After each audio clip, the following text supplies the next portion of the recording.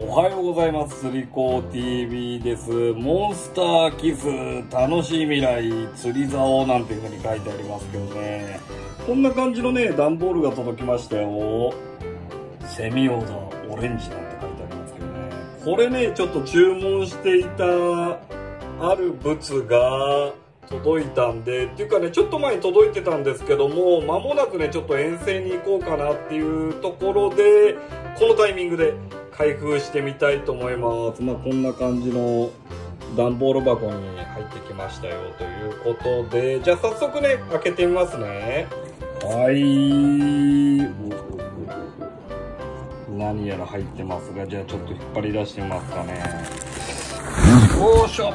よいしょ出てきましたロッドケースなんですけども、うわー、かっこいいなはいはいはいはいはいはい。おー、ほうほほほこれはすごいなえー、ちょっとね、袋から出してみますね。はーい、出てきましたいやー、ちょっとね、コンパクトロッド用の、ちゃんとしたね、ロッドケースが欲しいなーなんていうタイミングで、えー、モンスターキスでね、こんなの出ますよなんてアナウンスがあって、それでね、えー、買っておいたんですけども、色が何色か選べてね、自分はこのオレンジ色を選んでみたんですが、うわ、すごい。結構ね、しっかりとした作りですね。あ、ここにね、えー、ロッドケースエア、ね、説明が書いてありますね。えー、ちょっとここを見ておきたいと思います。新素材プラスチック採用のスマートかつ大容量の遠征用ロッドケース。標準サイズのほか収納ロッド及び目まぐるしく変化する航空会社、運送会社の配送ルールに対応する業界初の1センチ刻みでセミオーダーメイドにも対応。ハンドルは、え重心変動に対応する持ちやすいスライド方式を採用。ボディに弾性のあるアクリルゴムを成分の一つとした ASA 樹脂によって構成。両サイドの、えーワンタッチエンドキャップにはさらに強力なナイロン樹脂プラスガラス繊維のコンポジット樹脂を採用し、軽量かつ大容量を実現。アクティブに遠征を繰り返すアングラーのために開発されたモバイルロッドケース。イエーイっていうね、こんな説明が書いてありますね。うん、うん、うん、うん。じゃあね、早速開けてみたいと思います。こっちがベルクロでこう、結構こうね、しっかりとね、ロックされているんで、なんだろう、旅先とかでね、こう、不意に開いてポロリンなんてね、出ていかないようになってるんですね。ほら、ここもね、すごいね、しっかりと、こう閉じられていて、で、えー、これかな？こう、カチンと開けると、おー、こんな感じで、うん、梱包材、干渉剤があって、はい、こんな入れ物ですね。はいはいはいはいはいはいはい。で、えー、まあこれケースですけど、せっかくなんで、じゃじゃーん結構ね、現役で使っているコンパクトロッド軍団を持ってきてみました。はい、スピニングからベイトからね、いろいろあるんですけども、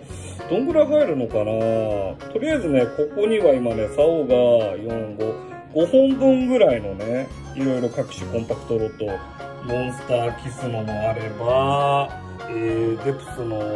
ェブメンバーのやつもあれば、ちょっとね、長めのやつもね、持ってきちゃった。ここら辺は入らないかな、なんていうふうに思うんですけども、じゃあ早速詰め込んでみたいと思います。はい、ちょっとね、入れやすいようにまとめてみたんですけど、こうブランクス部分がこんな感じで、グリップ部分がこうあるんですけど、どんぐらい入るのかな？え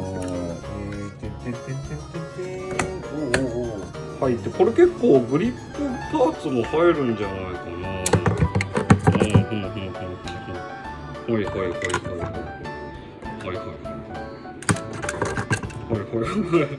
スルスル入るね。はいはいはいはいはい。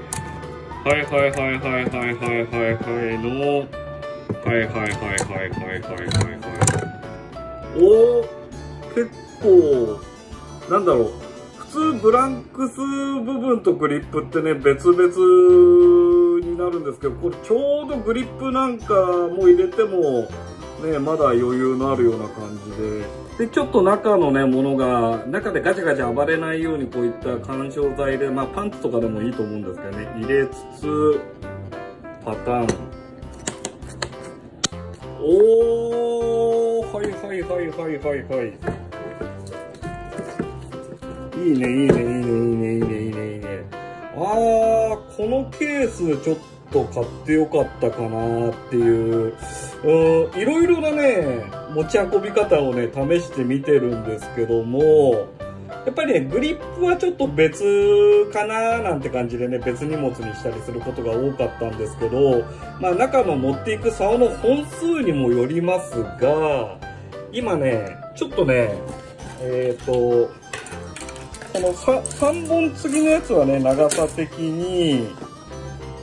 はみ出しちゃうんで、これはね、ちょっと入らなかったんですけども、え、ー、とね、この中にはね、えー、今、だから、4本分かな？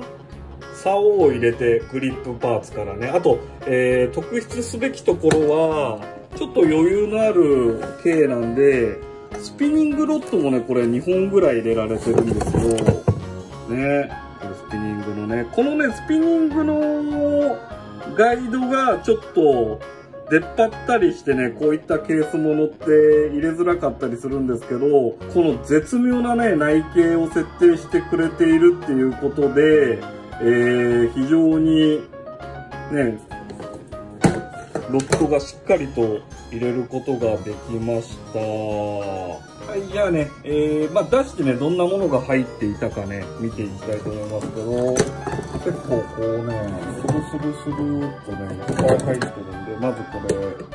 フランクス部分ね。こんな、結構このトリガー部分とか、グリップパーツに挟まるので、はいはいはいはい。こんなに入ってる。ね。こんなに。はい。で、ちょっと竿も組んでみたいと思います。はーい、組んでみましたけどね、こんな数の、えー、釣り竿とかが結構余裕を持ってね、えー、いろいろなところに持っていけちゃうっていう、そんな感じの要領ですね。もっと詰め込むことはできるんですけども、あと2、3本はいけちゃうかな。えー、スピニングみたいな大口径なのもすっぽり入って、あとまあここら辺のね、ベイトタックルね、全部入っ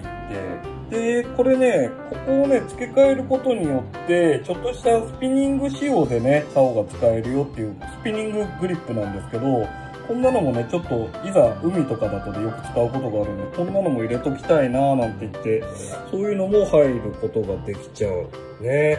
ここら辺のが結構余裕を持ってね、入れることができたんで、まあ家でのコンパクトロッドの保管の時なんかもね、いいんじゃないかななんてね、えー、乾燥剤と一緒に入れて、で、まあ実際にね、で旅行行く時なんかももちろんね、便利に使えちゃうかな。ね、この丈夫な作りで、そんでもってこういう不意のね、開いたりしないようなベルクロなんかもしっかりと装備されていて、ぱり実際にね、旅しているメーカーの人たちが自分たちの使いたいものをっていう感じで作るとこんな感じのケースになるんだなっていうね。あ、納得。ね。これね、ちょっと、あんまりやっぱコロナ禍でね、旅行に行く機会なんかもなかったんで、買ったっきりね、もうずっとね、段ボールから開けてなかったんですけども、そろそろね、ちょっとずつ外に行こうかななんていうね、そんな感じになってきましたからね、このケースと一緒に、いろいろなね、お気に入りのロッドを入れて、いろいろと回っていきたいと思います。はい。というわけで、えー、見てきましたけども、思いのほか、まあ、絶妙な容量を実現しているっていうことでね、一発でお気に入りになりました。えー、またね、こんなケースにですね、このコンパクトロッドたちを隠しておいて、これ釣り行けるよなんていう時にね、ちょっとね、活躍してもらおうかななんて画策しております。はい。というわけで、えー、本日のスリコー TV はこちら、えー、モンスターキスのですね、ハードケースですね、えー、コンパクトロット専用のハードケースを、え購入してみたよ、開封してみたよってこういった動画でした。はい。スリコー TV でした。えー、また会おうぜ。